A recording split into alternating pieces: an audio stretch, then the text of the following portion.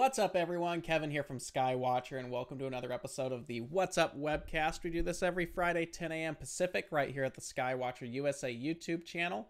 We cover everything from what's up in the nighttime sky to equipment to helpful tips and tricks. And of course, at the end of the month, we have a special guest to talk about their specialty in the field of astronomy.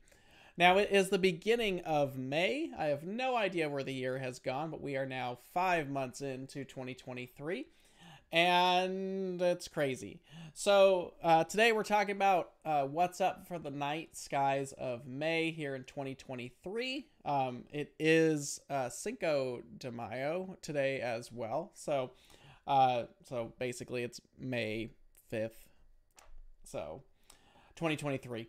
But anyway, we're going to get uh, started with it. If you like what you see here on the What's Up webcast, please go ahead and subscribe. Leave a like on a video. Lets us know we're doing a good job. Uh, you can also email us your ideas for a future episode at info at skywatcherusa.com. Title it What's Up. We'd love to hear from you and uh, any ideas that you guys would like us to do for a future episode. If you want to stay up to date with what's going on at Skywatcher, go over to skywatcherusa.com. Up at the top, hit subscribe and save and put in your uh, email information. That puts you on our email list. Uh, we send an email blast out every week talking about what the topic of today, this week's episode, is going to be for the webcast. Of course, if there's any sales or anything like that, you can be all a part of what's going on here at Skywatcher. So, uh, before we get started, really quick, uh, if you want some cool Skywatcher swag to go with your equipment, please go over to skywatcher.threadless.com. We've got all kinds of cool shirts. We have leggings. We have all kinds of crazy stuff is available um, at the uh, Threadless store for Skywatcher. Uh, we did see some of you wearing those at NEAF, so definitely appreciate the support there. Um, but you can go over to skywatcher.threadless.com to learn all about the different types of cool things that we have for swag to go along with your Skywatcher product. All right, let's start with the brightest thing in the nighttime sky. Of course, it's the moon. Um, new moon this month is May 19th. So, towards the middle end ish portion of the month, that's when we will be in our darkest. Um, that means your dark sky weekend is going to be the 20th and 21st. Um, if you want to know where Skywatcher is going to be for the new moon of this month, we'll be at Texas Star Party starting on May 15th. I believe we will be out there. So come by if you're in tech at the Texas Star Party, say hi. Come check out the CQ350 Star Adventure GTI Quattro uh, 150. We'll also have Trevor and Ashley from Astro Backyard will be hanging out with us at Texas Star Party this year. So if you're going, stop by, say hi, and uh, we'll definitely see you there. But the dark sky weekend of this month is the 21st and the tw- the 20th and the 21st. So that's what will be the dark sky weekend. Um, probably already have plenty of stuff planned. Uh, full moon, of course, is actually today, May 5th. Um, and it's going to be what's known as the flower moon. Uh, spring is here officially here in the northern hemisphere. This is generally when flowers tend to bloom, and thus the reason that is called the flower moon. Uh, all full moons have a variety of different names. You can go out online. Uh, Farmer's Almanac is a great place to go up and learn all about the different names of the full moons and all the history that comes with it as well. Um, I would like to make one point. I forgot to mention this earlier. Today is a pre recorded episode. I'm out of town. I wasn't able to be here to do it live. Uh, so, just letting you know, today is a pre recorded episode, which you've probably already figured out if you're watching this because you probably saw the countdown before the episode. But anyway, um, today is pre recorded. All right, so that's the moon. So if you're going out to a dark sky site, head out to the 20th and 21st. That would be the dark sky weekend. Hopefully, you get some good stuff. We are at the beginning of Milky Way season as well. The Milky Way is starting to rise kind of mid, uh, around midnight um, is when it really starts to come up. Uh, but that'll be kind of cool. And of course, the full moon, like I said, is today, Friday, May 5th.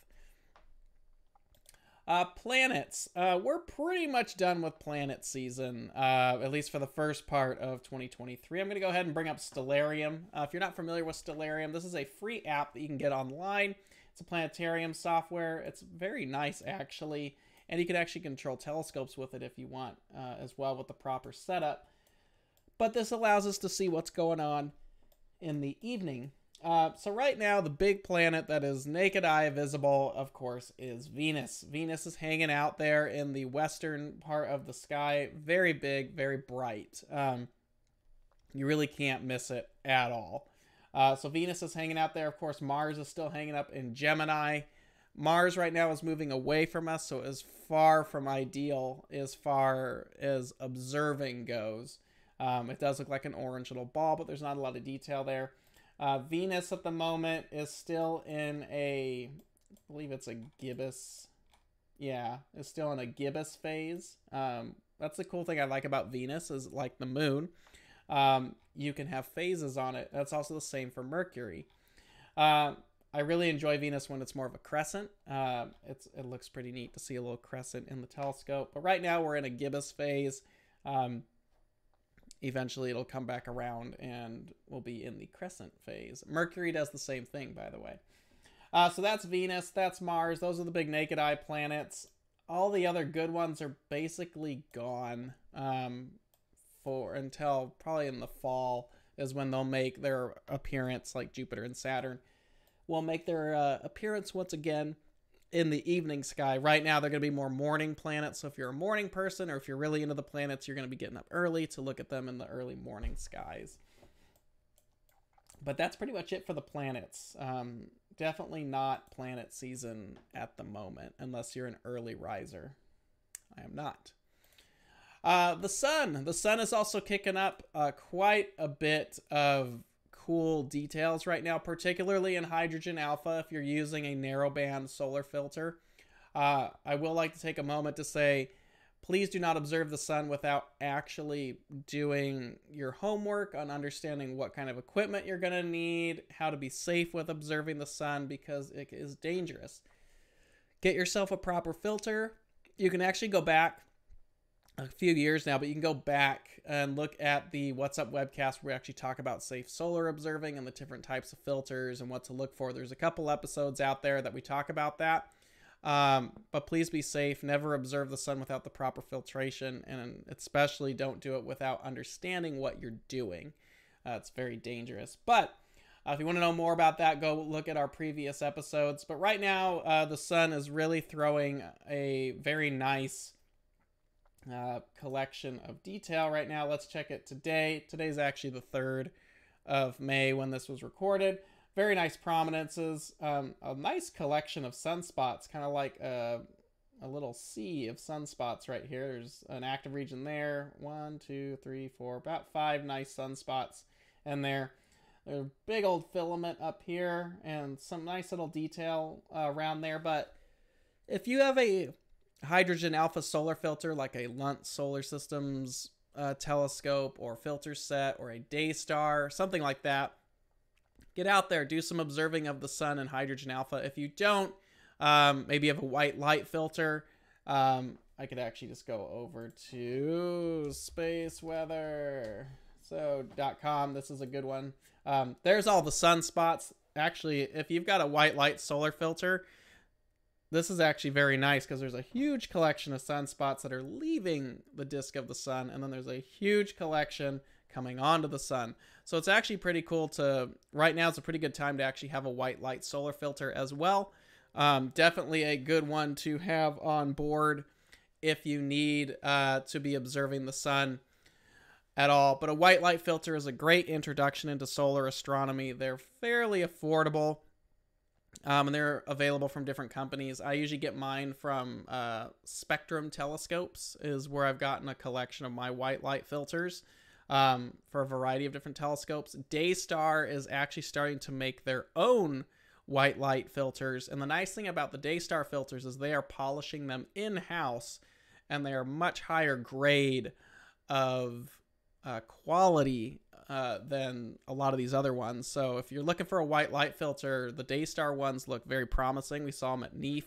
Uh, they look very high quality. They're polished higher optical standards than most of these other solar filters. But um, if you do want a good, just general affordable filter, I rarely recommend going over to like Spectrum Telescopes and buying uh, some filters from them. AstroZap makes good ones. I think Thousand Oaks is still doing it. There's a lot of different companies that are doing it. Um, I've just worked with Spectrum recently, so um, they do very nice. Uh, but that's your white light view of the sun. Um, and then you have the hydrogen alpha view of the sun. Um, very, very cool stuff going on the sun right now. And of course, as we get closer and closer to October, we have the annular eclipse um, through North America. And then, of course, the big one uh, in April for the total solar eclipse. So make sure you are getting your equipment now because we are really getting into that nitty gritty um, stuff where there is demand is really starting to ratchet up and you're really losing time uh, because you're probably going to have to wait to get some of the more exotic solar filters like the hydrogen alpha filters. You're really losing time um, that you're going to have to place the order and wait to get your equipment and you don't have a lot of time left for the at least the annular or partial eclipse wherever you are in the country in October. But as we get closer and closer to April of next year, it's going to get ridiculous. So make sure you're getting your solar equipment now. And because every week that goes by, it's just going to get worse and worse uh, on the demand, and you're losing time. So don't wait to the last minute. Make sure you get your solar glasses, your filters, whatever you need. P- put the order in now or try to buy it now um, because it's going to get a lot harder the closer and closer we get. So, anyway, that's the sun. Um, very nice stuff going on today. I like using, uh, let me bring it back up here really quick. Uh, this is GONG. Um, just go on to Google and type in G O N G H alpha um, and look up uh, what the sun's doing today. This changes every day. And if you want the space weather um, image, you can go over to spaceweather.com and see the white light uh, version. Um, these update all the time. Uh, so definitely go over check it out. Meteor showers. Um, we do have one big meteor shower. It's actually going on right now. Um, it's the Eta Aquariids. Uh, the problem with this one is you're still looking at about 30 meteors per hour, which is pretty good. But it's full moon. So there's a big, bright moon up in the sky that's basically wiping out uh, the ability to see some of those fainter meteors. Um, so this one's not very well placed this time of year. You're still going to get some. You'll probably see a handful of shooting stars if you're out and about um, and looking and just timing it right. There'll be some bright ones, but not nearly as good as if it were on like a new moon uh, night where it's nice and dark. So this one, unfortunately, the full moon is actually uh, causing a little bit of issue um, on that. Um, I just realized what the other. Uh, th- oh wait, I already had it. I'm sorry. Never mind. Uh, I thought there was a page that I didn't have ready to go, and turns out I did. So let me get this all squared away. All right, so yeah, meteor showers. There's a good one. It's happening right now. It's just not well placed because of the full moon. So that's the Eta Aquariid meteor shower. That's the big one for May. All right, next up, comets. Uh, comets right now. Um, there are some interesting ones. Uh, this is cometchasing.skyhound.com. Uh, this is where I tend to go uh, if I want to look up what comets are available or what interesting ones are actually coming around. Um, this is a very detailed website of how to find what comets are visible or could be interesting um, in the coming months. So, um, they give you some notes, and then down here a little bit further, they give you kind of the visibility. Um, right now, the brightest one, which isn't even visible here in the northern hemisphere, is C 2017 K2 Pan-STARRS. That's looking at about 10th magnitude, 10 and a half magnitude. Definitely telescopic. All these look to be telescopic. Um, yeah, that looks to be the brightest one at 10th magnitude. So right now, there's nothing big um, in the nighttime sky. Um, it looks like we could get some interesting ones that'll pop up over the next year or so. Um, this one, C 2022 2023 A3, um, could get pretty interesting in September of 2024. Um, we're only talking about half an AU between Earth. That's pretty impressive. Um, so maximum brightness is planned for about October 2024. This could be a very interesting one. So we want to keep uh, an eye on C 2023 A3. Um, that could be interesting in about a year and a half from now. Um, this new one, C 2023 E1 Atlas, um, is saying it could be reach its maximum brightness in August, uh, but it's still only 11th and a half magnitude, so that's still fairly faint, and it's a telescopic target all the way. Um, there's nothing else really sitting here at the moment that looks like it's going to be groundbreaking. But with comets, they always change. There's always something exciting that could happen. So this is a good one to actually keep an eye on because things change with comets all the time.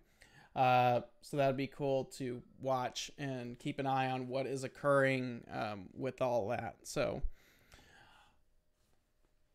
oh right, that takes care of comets. Uh, deep sky targets. So we're in spring at this point, and spring is galaxy season. There's not a lot of nebulas. Um, so there are nebulas up there, but they're small, faint, or you have to wait till um, later in the evening when more of the summer targets. Um, but this is where you're really going to want some aperture. You're really going to want some focal length if you're going to be observing the targets that are up at the moment.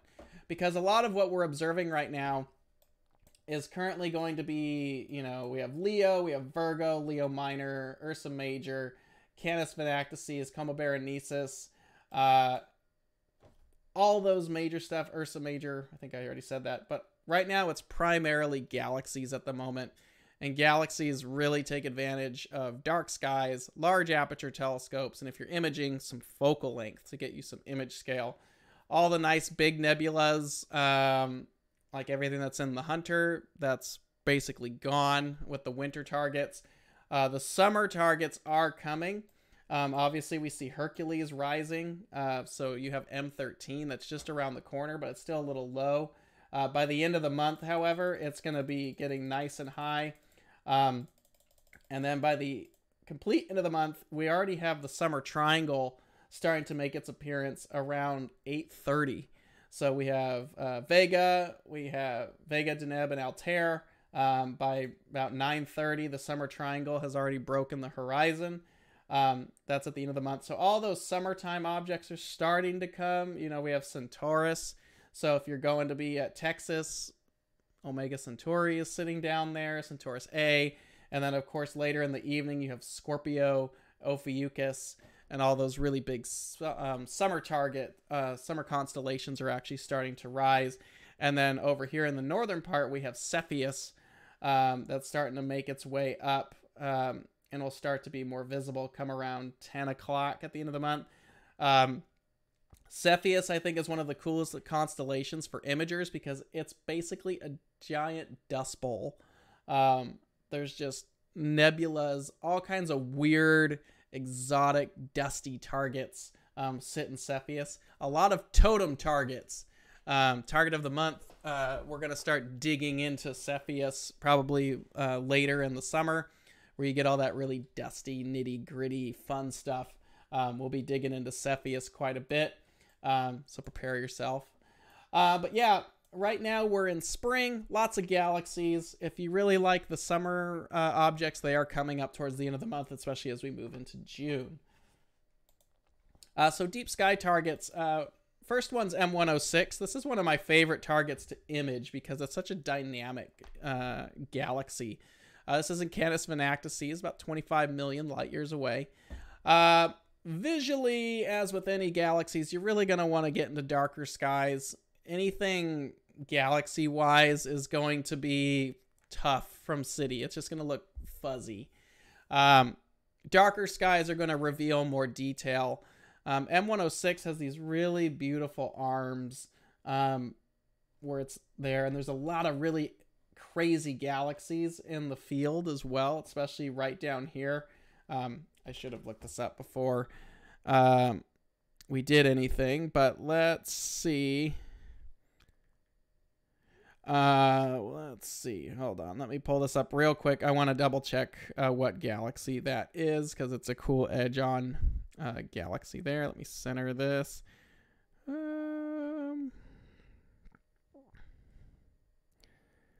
I believe that is NGC 4217. Um, yeah, it doesn't come up. So I'll have to look it up. But yeah, there's a bunch of cool galaxies in this area, and that's what you're going to find with a lot of the uh, regions uh, of this time of year. A lot of a lot of the major constellations, there's just clusters of galaxies everywhere, like Virgo, Ursa Major, Leo. Um, there's all Coma cluster. There's all kinds of galaxy clusters up there. But M106 is very easy to find. It's fairly bright. It's a great imaging target. There's lots of detail packed in the core. I would really recommend if you have a monochrome camera to put some hydrogen alpha data into this image to help pop some of those HII or star forming regions out. But what's really cool about M106, probably one of the things I think is my favorite about M106 is the supermassive black hole that sits in the middle of the galaxy is whipping up all this material. And in hydrogen alpha, or in the deep part of the red portion of the spectrum, there are an extra set of arms in M106 that are kind of slated around the core of the galaxy and this is material that the black hole is actually whipping up and spinning around the core of the galaxy. And it's actually visible in hydrogen alpha. And they're very cool little delicate arms. Um, of course, Hubble has an amazing image of it, but you can actually get it in an amateur telescope. I don't know if I actually have all that. Let me dig all this up. I wonder if I actually have the image of this, if I can find it really quick um, to actually pull this up. Let's see if I have the H alpha uh, master frame. There it is. So here's M106, the same star field. This is in hydrogen alpha, but if we zoom in, you can see right here, this little arm is the is the arm I'm talking about the extra red arms of M106. That is material that's being whipped up by the black hole that's in the center of the galaxy. And that's using, this was a 5 nanometer hydrogen alpha filter that popped that out. But you can see there's all kinds of star forming regions that are inside M106. So if you want to bring those out, I really recommend adding a little hydrogen alpha data. I think this is only like two hours worth. Um, but go ahead and pop that in there. But you can see that really cool arm right there. It's very delicate. Um, but some good H alpha data will definitely pop that out. And it's just awesome to see material that's being whipped up by a black hole 30 million odd light years away. Um, you can do this in town. Galaxies are usually pretty forgiving. Um, there, but there's no filter that really helps you out other than a light pollution filter or darker skies. Um, another one, uh, M104. This is the Sombrero Galaxy. Uh, this is in Corvus the Crow, 30 million light years away. This one's good in town, but it does benefit from darker skies and it is kind of small. So some focal length is very helpful. There's some very cool detail you can get in this galaxy, especially along the edge of the dust bands. Um, but it's a cool galaxy. Filters are really not going to do anything for you here. It's just either pound away on it or go to darker skies. Um, H alpha really probably won't do a whole lot, although there are a lot of interesting things being found by people doing very deep hydrogen alpha exposures, like they've done that with M31. Um, there's all kinds of uh, nebulosity running around that field. So, um, if you have time and the equipment, I would recommend just as an experiment to just pound away on some popular targets like galaxies with filters that you generally wouldn't recommend it. Probably a lot of times might be, I wouldn't say a waste, but you just don't know what you're going to get. But you might be surprised that you might find something in the star field, especially with these very sensitive cameras and fast optics nowadays. You might be able to pull out stuff that people just don't know is there. Um, so don't be afraid to kind of blaze your own trail and experiment with some equipment and see what you get out of it. Um, this is M104. It does a very nice job in like a 10 or 12 inch telescope. Obviously, bigger telescopes are more helpful, but it does look like a little tiny sombrero. Um, it's kind of a cool one to see. For imaging, it is rather small, longer focal length. Um, if you're doing visual, definitely want to add some magnification to pop it out a little bit. Um, but yeah, give it a go. What was we were looking at this the other day um, at an event. What was I running? It worked pretty good. Um, was running my 31 Nagler on my 28 inch. Um, that was about 90 power. So about 90 power does a very nice job um, pulling all that out. Um, but that is a fun little galaxy for you to actually go check out. And it's a fun one to do for outreach. Um, so definitely, definitely try it out. Uh, next up, of course, is the Leo triplet. Very cool collection of galaxies. Sometimes you luck out where you can get multiple galaxies in one field of view, the Leo triplet being one of them. You can at least get two of them, uh, sometimes three, depending on how dark the skies are. Um, NGC 3628, which is the larger galaxy right here, is fairly invisible visually unless you're in darker skies. Um, but it also has a very faint tail at the end of it. And the only way to really pull this tail out is long exposures or a really good luminance uh, frame to help pull that out. This was shot in Florida from a backyard, which is very impressive the amount of detail that's there um, with these galaxies from just a backyard image. But from dark skies, you can pull out a lot more of this faint detail, especially the tail that's coming off of NGC 3628. And you'd be amazed what's actually floating around in there. But again, deep, long exposures, especially with luminance. Um, lots of time to pull that out.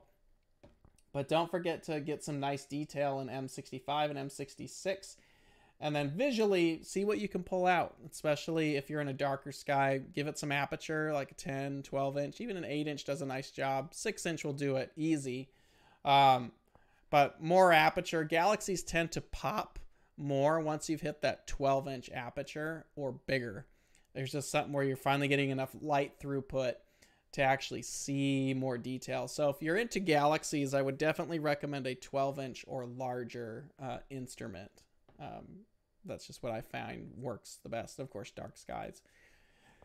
Now, continuing on with that two for one deal, uh, we have M81 and M82. These are probably the easiest galaxies to see this time of year. Um, both of them generally fit in the field of view. They're about 12 million light years away. They're right at the um, upper portion of Ursa Major off the bowl. Um, but it's a good one to go after. Now, what's very cool about this from a imaging standpoint is you have all this dust. It's called integrated flux nebula. It's like cirrus clouds that just go through the region. It is packed full of we call it IFN to abbreviate it, integrated flux nebula. So there's tons of IFN floating around this region and you'll be very surprised what you'll find uh, just floating around. But it's very delicate. So long exposures, dark skies, or a good luminance channel will help pull that out as well. Now, the thing here with M81 and M82 um, is don't forget to do the H alpha uh, frames because they're actually going to help pop out the red portions that are in M82. You can see this really cool red area in the cigar galaxy. This is M82, this is M81.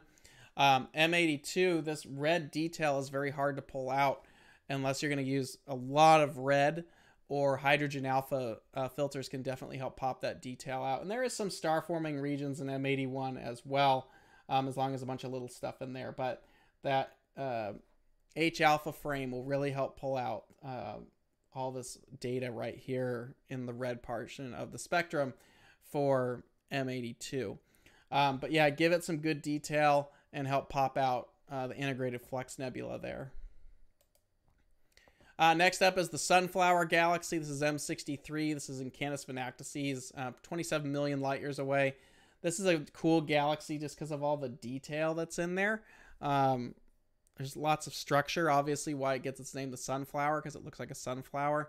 That is visible in larger aperture telescopes. You can get that detail in there. Um, I wouldn't say grain or molting, um, but it does have some really cool uh, uh, details inside there to make it the sunflower galaxy. The black eye galaxy is another one, which I don't have an image of, but that one's very easy. It looks just like it does in a picture, even in a moderate telescope from decent skies.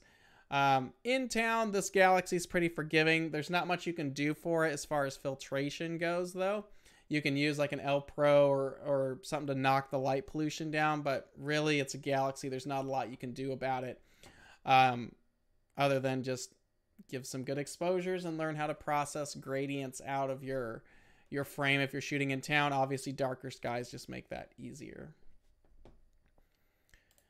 Uh, next up is NGC 4565 and Coma Berenices, about 43 million light years away. This galaxy is one of my favorites. It's huge um, as well.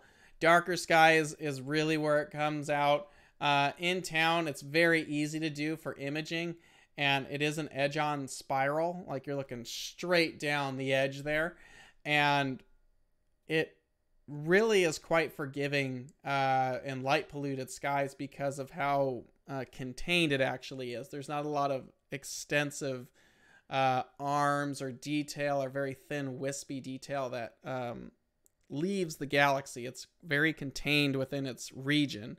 So if you're dealing with gradients or something like light pollution gradients in town, you can actually deal with it fairly accurately because of how contained this is. You're not going to lose any of that really faint, uh, subtle detail that might be sitting out there.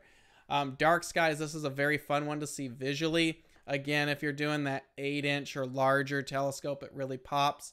This in a large aperture telescope, like a 18 or 20 or bigger, is huge. Um, I've seen this in a 36 inch Dob, and it takes up almost the whole field of view. It looks like a massive UFO um, in the field. It's very cool to see. So something that's got some serious aperture.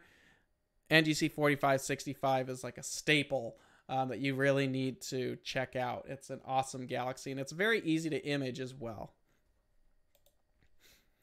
Of course, one of the biggest ones that's up right now is the Whirlpool Galaxy M51. This is in Canes Venatici, um, which is basically the tail of Ursa Major. It's just off the Big Dipper handle, about 30 million light years away.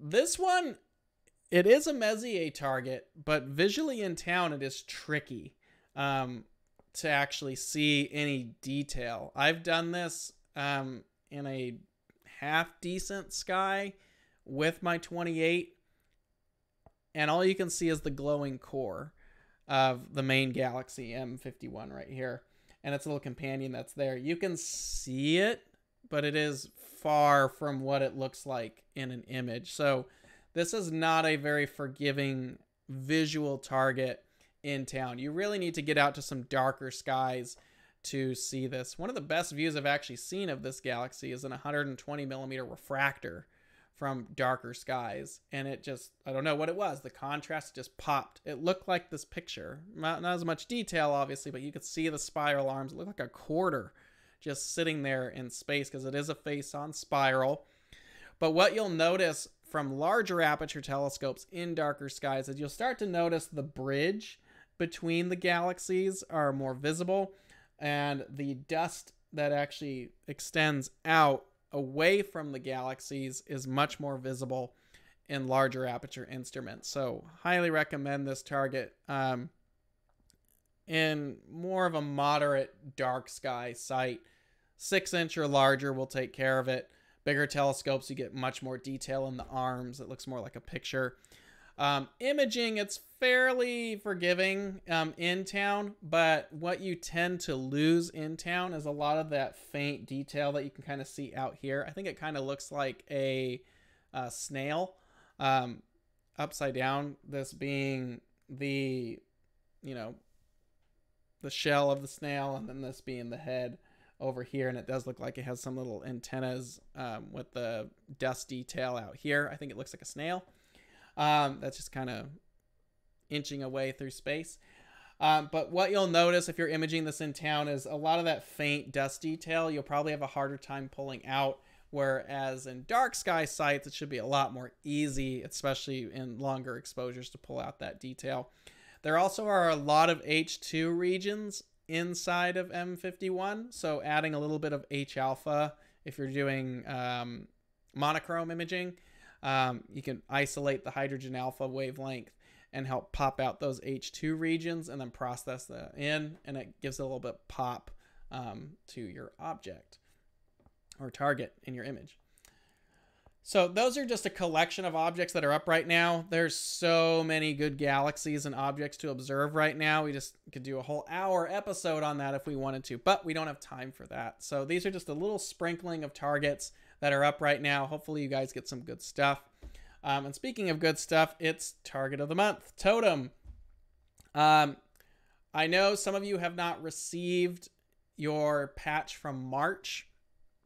We haven't really been in the office lately because of traveling for NEAF and all that. NEAF is a huge production, and we are getting ready to go to Texas Star Party in about two weeks. So there's just a lot going on. We do have everybody's submission for April already put together. Um, so those patches will be shipping out here, and we'll go. We'll try to get back and do the March patches and get those shipped out. Um, so we're not waiting too much longer for that. But all the April submissions have been collected. Um, they're also all in this presentation. If you've never heard of Target of the Month or TOTM, here are the rules. You must be able to provide an image by the end of the month. You have to shoot the target within the month. No old data or any of that. Um, there were some questions at NEAF about this. You can use a remote observatory if you have access to one. It doesn't necessarily have to be your telescope. You do have to collect the data, obviously, and process it, and it has to be done within the month of the TOTM target. Um, any submissions you have to email to TOTM, T O T T O T M, at skywatchusa.com. Your submission must be sent in by the last day of the month and you need to provide your name, equipment, image specifications like exposure, um, your mailing address, and this is only for the US and Canada just because it does get pricey shipping stuff all over the world.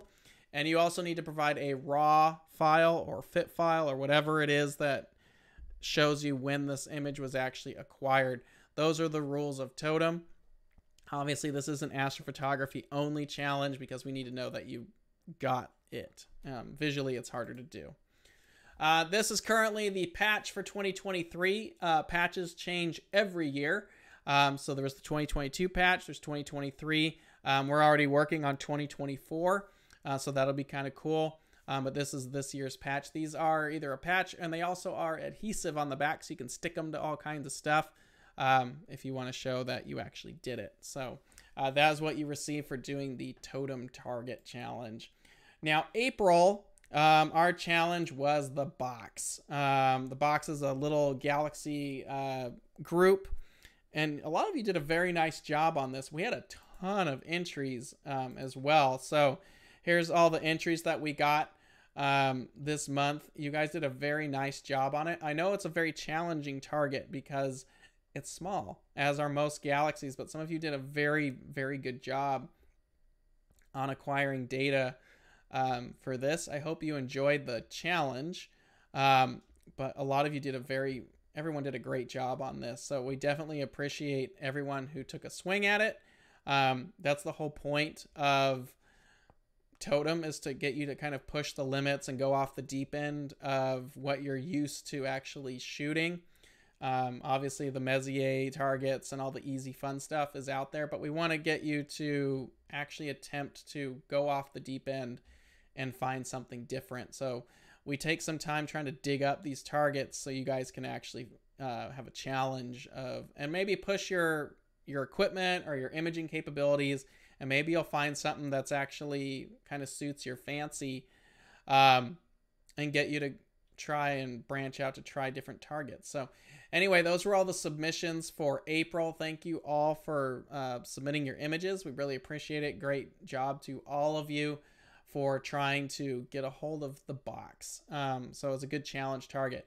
Uh, now we're going to continue on with the galaxy theme for May. Um, this is NGC 4762, the Paper Kite Galaxy in Virgo, 58 million light years away. This is a really interesting galaxy um, because it has these interesting arms that just kind of peel off into space. There's a lot of very delicate detail in this galaxy. So try to pull some of that detail out in those uh, arms there. And uh, get some cool detail there in the core because it is edge on. Um, so this is a very interesting galaxy. It's one of my favorites. It's very overlooked. You don't find a lot of information on this one, but NGC 4762, the Paper Kite Galaxy, um, this is a very cool one to go after, and that will be our May challenge target.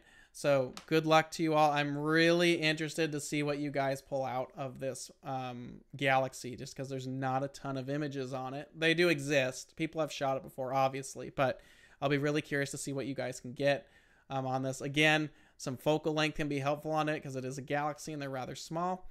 But uh, we're excited to see what you guys can pull out of that. Um, that's pretty much it for this episode. Uh, really appreciate you guys being here. If you like what you see here, please go ahead and subscribe. Leave a like on the channel. Lets know we're doing a good job. If you have an idea for a future episode, please email us at info at skywatcherusa.com. Title it What's Up so we know what you're writing in about. Um, but that is May Night Skies. Uh, next week is planning nightscapes. This will be another live episode. Uh, we will be all back, um, or I'll be back. Um, we'll be talking about how to plan for nightscapes to get those really cool scenic uh, shots. We may have a special guest join us. I'm not sure yet. We're trying to pin that down. Um, but that is next week's episode. That's 10 a.m. Pacific, right here at the Skywatcher USA channel on May 12th. Um, and then a couple days after that, we will be heading to Texas Star Party. So the week following the 12th, which is that would be the 19th. Um, May 19th will be a recorded episode. Um, so we'll be talking about, we'll be doing another pre recorded episode there. But next week we'll be live and I'll be back in person uh, for planning nightscapes. But uh, I hope you guys enjoyed uh, the May Night Skies episode for 2023. Really appreciate you being here. Um, thanks for watching. I hope you guys have a great weekend. Again, if you want to go pick up some cool Skywatcher swag, head over to uh, skywatcher.threadless.com and check all that out. Um, other than that, please have a great weekend. Uh, clear skies to all of you. Get out and do some observing, even though it is full moon. Go share the full moon with somebody. Um, you never know who you're going to inspire and get into this awesome hobby of ours. So thank you very much, everyone. Have a great weekend. Clear skies, and we'll see you guys next Friday. Take care. See ya. Bye.